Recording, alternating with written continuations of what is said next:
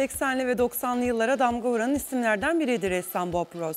Herkes ekran başına kitlenir, yeteneği olanlar onunla birlikte resim çizerdi. Bob Ross hayatını kaybedeli uzun yıllar oldu ama resimleri gençlere ilham kaynağı olmaya devam ediyor. İşte Bob Ross'un çizimlerinin kopyalandığı yeni manikür modası. Yine önemli kararlar vereceğiz. İşte ağacım burada.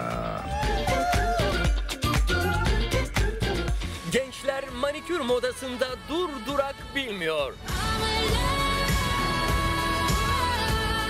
Şimdi de 80'li yılların en tanınan isimlerinden ressam Bob Ross'un tablolarını tırnaklarına taşımaya başladılar.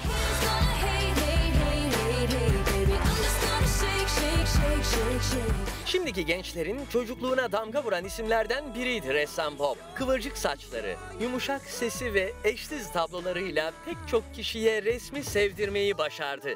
Burada da böyle bir bebek ağaç var. İşte böyle. Van Dyck kahvesi ve belki burada da şirin bir ağaç vardır deyimleri onun sayesinde lügatimize girdi. Şimdi gençler Bob Ross'tan öğrendiklerini tırnakları üzerinde uyguluyor.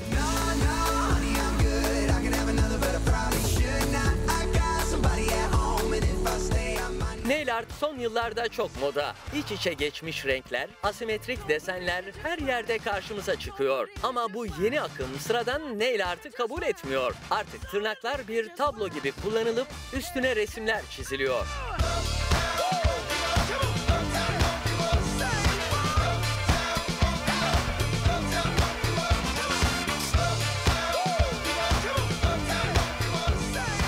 Renkler büyük bir ustalıkla harmanlanıyor, doğa ilham kaynağı oluyor.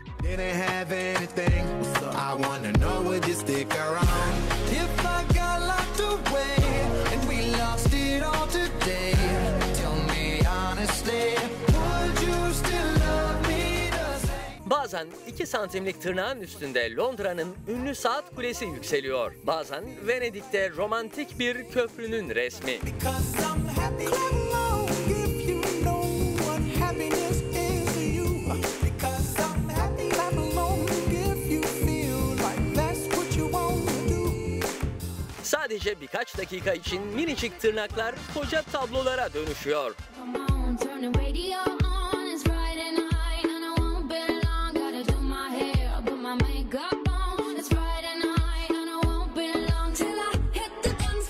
Hit the dance floor. I got all I need. Bu tekniği evde uygulamak için dört şeye ihtiyacınız var. Renkli ojeler, ince uçlu bir fırça, sabır ve bolca hayal gücü.